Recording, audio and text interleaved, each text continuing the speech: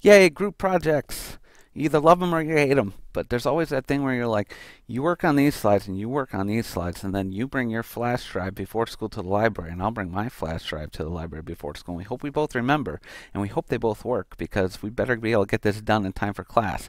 And that's always a big hassle, but fortunately, you don't have to do that anymore. If you have a Gmail address and a Google Drive, you can work together on Google Docs at the same time. And there's different types of Google Docs. There's Google Docs that are like Word documents, and there's Google Docs that are like PowerPoint presentations.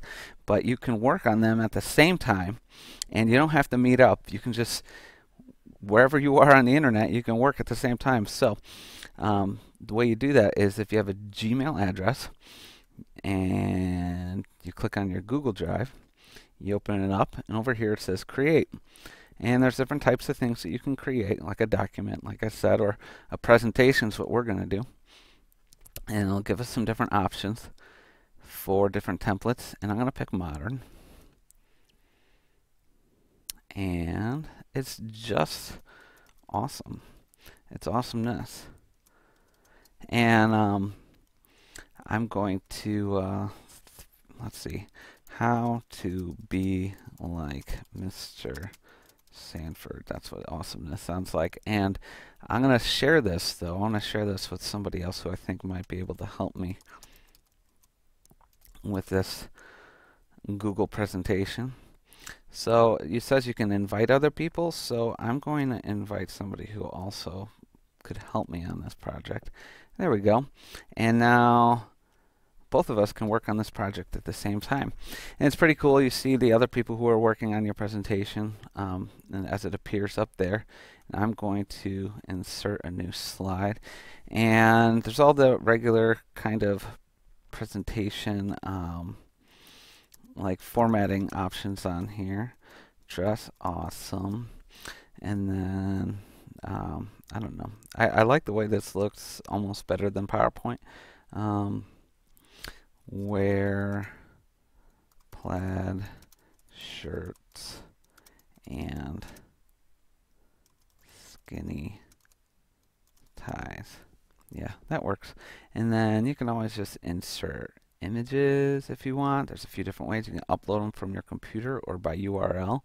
And what that means is you can go to like do Google search for images. I like that image. I'm just going to click up here and copy that URL.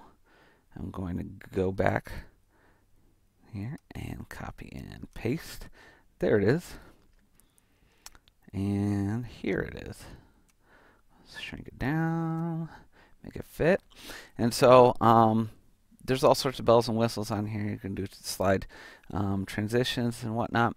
Um, other fun things you can do is you can chat with other people who you're uh, working with, just like an instant message texting kind of chat thing while you're working on a document.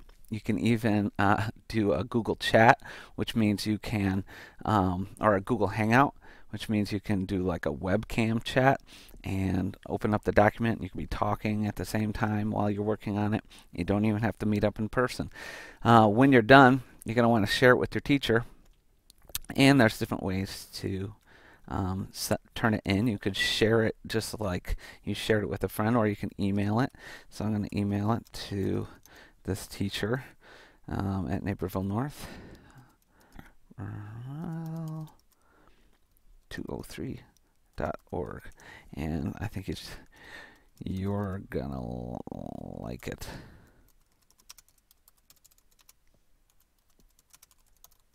Yep, yep. And then I'm going to send a copy to myself just so I know I just sent it to my teacher. So um, hopefully this makes Google projects or makes uh, group projects easier for you using Google.